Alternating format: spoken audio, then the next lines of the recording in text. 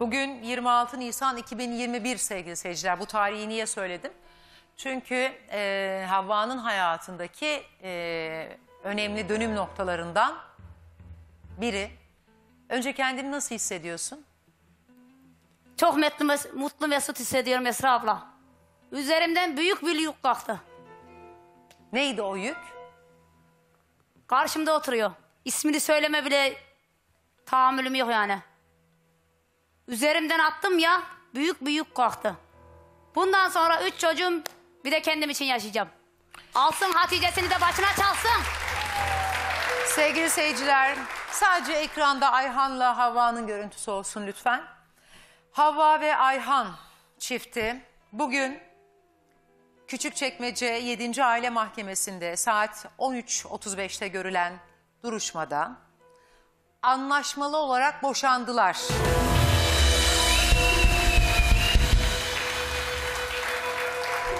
Tarafların birbirlerinden maddi manevi tazminat, mal ayrılığı rejimine ilişkin talepleri bulunmamaktadır. Müşterek çocukların velayeti anne Havva Yılmaz'a verildi. Baba için belirlenen şahsi görüş günleri var. Her ayın birinci ve üçüncü cumartesi 10 ile 18 arası pazar gününe kadar dini bayramlarda, yarı yıl tatillerinde ve Temmuz ayının birinci günüyle 15. günü arasında baba çocuklarla şahsi ilişki münasebeti e, kurabilecek. Aynı zamanda Ayhan Bey müşterek çocuklar için aylık 300'er TL, Havva için de 300 TL olmak üzere toplam 1200 TL iştirak ve yoksulluk nafakası ödeyecek. Şimdi betere bir dakika betere gelmesin. Ayhan Bey ne oldu? Zor muymuş boşanmak? Yok abla. Ha? Ne hissediyorsun? Hayırlısı, hayırlısı diyeceğiz. Artık hayırlısı mayırlısı yok. Bitti gitti. Evet. Senin için sadece Havva çocuklarının annesi. Senin normal şartlarda bugün zil takıp oynuyor olman lazım. Niye oynayayım? Bu da kader abla. Bu da kader. Niye oynayacaksın? Yok bu kader değil. Kader değil mi? Sen kendin ettin çünkü. Kendin ettin kendin buldun. Kader diye yalan konuşma benim karşımda. Utandığından yüzüme bile bakamıyorsun.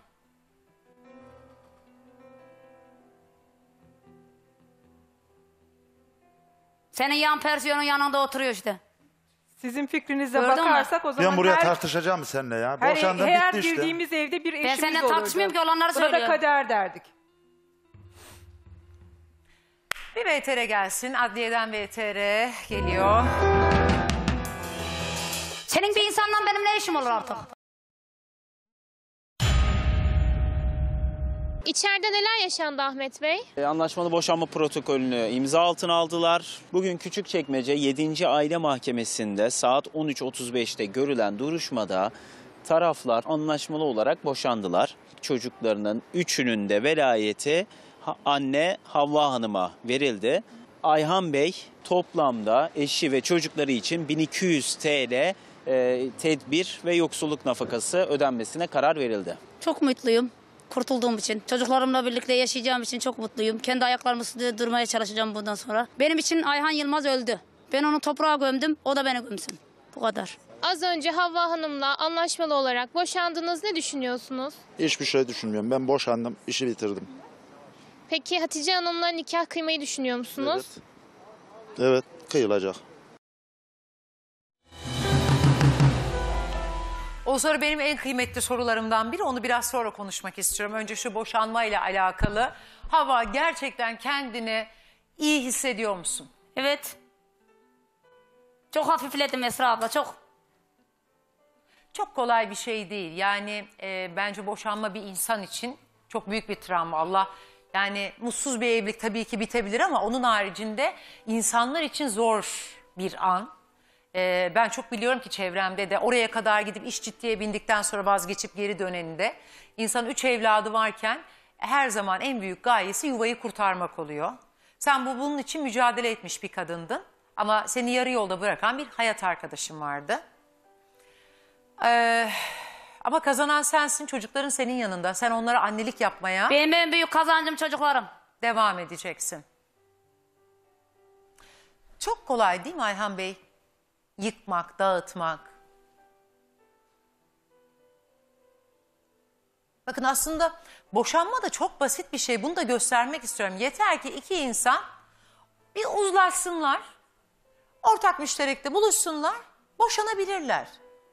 Ama dava bir yuva kurmak, o yuvada fedakarlık yapmak, o yuvayı yıllarca sürdürmek, o yuvanın içerisinde büyüyecek olan çocuklara aile değerlerini bilmek, vermek, sadık olmayı, sadakati, fedakarlığı, emeği öğretebilmek. Asıl zor olan bunlar.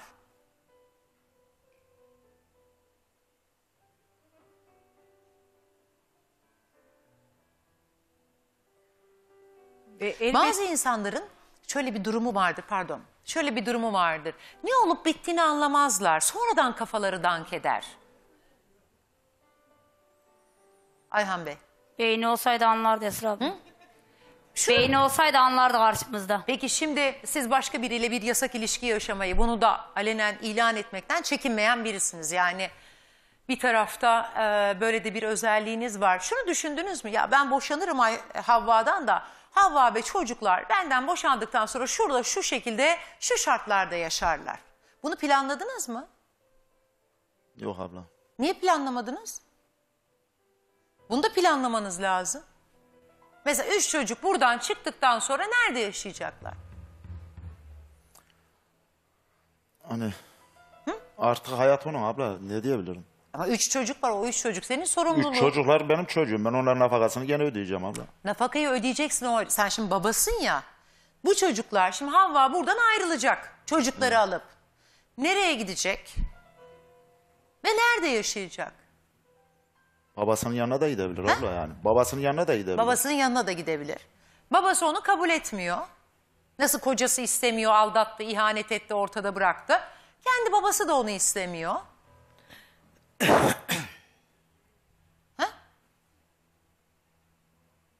Bilemeyeceğim abla. Ama insan biraz da bunların üzerine düşünür ya. Yanındaki izin verecek de ondan sonra düşünecek ablam. Sevgili seyirciler, Havva buradan çıktan, çıktıktan sonra gidecek bir yeri yok. O üç çocuğun kafasını e, bir yastığa koyabilecekleri o bir göz odaları yok. Hiçbir şeyleri yok. Ama Sen niye konuşmuyorsun? Ayhan mutlu, aşık oldu ve seviyor. Hayatını böyle kurmak istiyor. Ya o üç çocuk? O çocuklar büyüdükten sonra sana saygı duysunlar istiyor musun? İnşallah duyarlar abla. Aa bak gene inşallah maşallah. Çok beklersin kardeşim. Ayhan Efendi bunu sen. Evlat gene benim Çok evladım. Ben beklersin. gene arkalarındayım. Sen duyuyor musun babana sevgi? Saygı sevgi duyuyor musun sen babana? Duyuyor musun? Senin baban da seni 5 yaşında terk etti. Sen ona saygı sevgi duyuyor musun? Benim çocuklarım nasıl sana say- saygı sevgi duyacak? Ya boşandın benden işin bitti. Benimle Hayır, daha değil tartışmana bak. gerek yok Ben ya. tartışmıyorum önemli sana bir ben soru. soru soruyorum. Babanla annen sen çok küçükken ayrılmışlar değil mi? Evet abla. Hatırlıyor musun o dönemi? Hatırlıyorum. 5 yaşta çok önemli bir yaşta bir insan için, bir çocuk için de ağırdır. O dönem neler hissettiğini hatırlıyor musun? Vallahi yani o dönem o zaman o, o, o zaman da kaldı ablam ya. Peki yıllarca o babasızlık senin içini kavurdu mu? Yakar ya. Vallahi hiç de kavurmadı. Hiç kavurmadı ben açık konuşayım. Babana karşı sevgin var mı? Yok ona da Yok. Niye sevgin yok? Senin çocukların da sana karşı sevgisi olmayacak bundan sonra Neden Ayhan sevgin Efendi. yok? Benim şolarım bana Senin olur. için- Onlar benim evlatlarım. Onlar Konuşma. için sen öldün. Ben seni nasıl toprağa gömdüm benim çocuklarım da onu- seni gömecek. Hayır hayır ölmedi onu da şahsi Geleceği görüşlerinde Allah'tan var. başka kimse bilemez. Hayır. Ama bir şey söyleyeceğim. Rabbim her şeyi biliyor da biz kuluz. Diyor ki kulum ben sana kitap verdim oku. Yol gösterdim doğrudan git diyor. Akıl var, irade var, mantıklı düşünme var. Ayhancığım babana karşı niye tek bir duygun yok? Öyle oldu abla. Çünkü senin çocukluğunu aldı değil mi? Sen istemez miydin ki annen babanın olduğu bir göz odada mutlu olmayı? Her çocuğun hayali oyuncak değildir biliyor musun? Annesiyle babasının bir çift gülen yüzüdür, gözüdür, bir güzel sözüdür, yanındayım demesidir. Ben varım sen merak etme desin, ben hallederim demesidir. Bu anne baba için de geçerli. Tekrar soruyorum. Çocukların buradan sonra gidecek hiçbir yeri yok.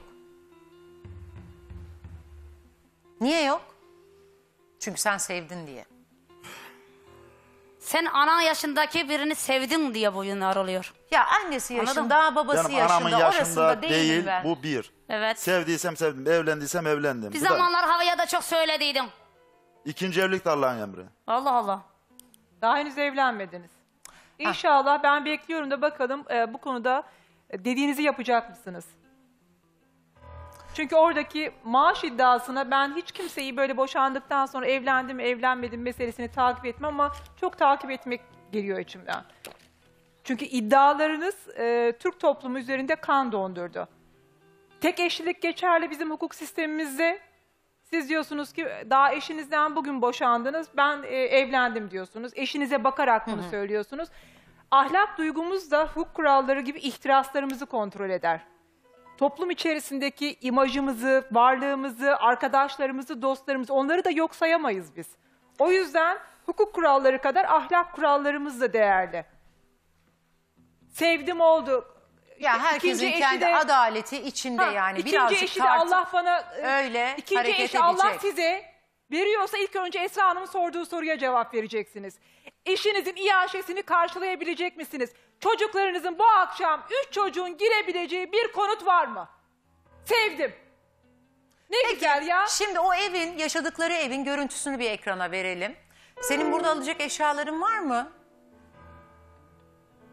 Senin bu, eee, yaşadığın evde, kaldığın yerde bugüne kadar alacak tek bir eşyan var mı? Yok Esra abla. Yok. Yok. Sen buradan çıkıp nereye gideceksin? Allah büyüktür.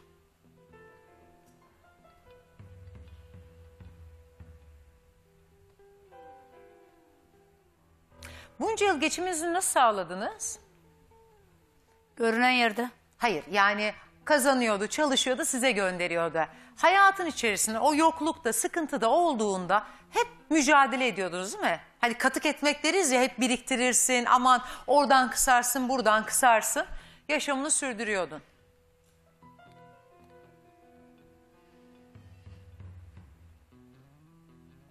Ben bu zamana kadar Ayhan'ın varlığına da katladım, yokluğuna da katladım Esra abla. Ama bunun yaptığı akla hayale sığmaz bir şey. Varlığına yokluğuna bu görünen evde yaşadım. 10 sene boyunca. Dayağını da yedim. Anasının azarını da işittim. Anası 10 sene oldu ben eve geleli. Daha bir gün bir kızım dememiştir bana. Yok, Geldim. Senin, sen Hep horlama, kalmıyor hep kaynanaya, kocaya. Hep kendini savun. Ben Tabii. kendimi, kendimi savunmuyorum. Olanları anlatıyorum. Kendini savun. Sen kendini niye savunamıyorsun? Ben savunup... Sen benim karşımda kendini niye savunamıyorsun? Tam da sen bazı konuşmaların yalan. Senin mi benim mi? Yalan, yalan bir. Kaynanaya- Eşim, yalan bir. Eşim kaldıran beni sensin, başka herife bir de- kadınla aldatıyor. Herife de yalan kaldıran iki. sensin. Yaşadığım evden bir Senin yaşındaki dövdüklerin nerede çocuğum kalıyor? kucağımdan koparıldı. Hangisi Peki yalan senin bunların? dövdüklerin nerede kalıyor? 10 senedir ben senin dayağını yiyorum. Beni kızımın gözünün önünde dövdün, kızımın gözünün önünde. Sen, Ben, sen seni. taşlara varana kadar, çaydanlılar varana kadar fırlattın. Allah Allah. Şimdi Yapmadım da keşke yapsaydım vallahi. O kadar pişman oluyorum sana Sevgili yapmadığıma bunu. seyirciler.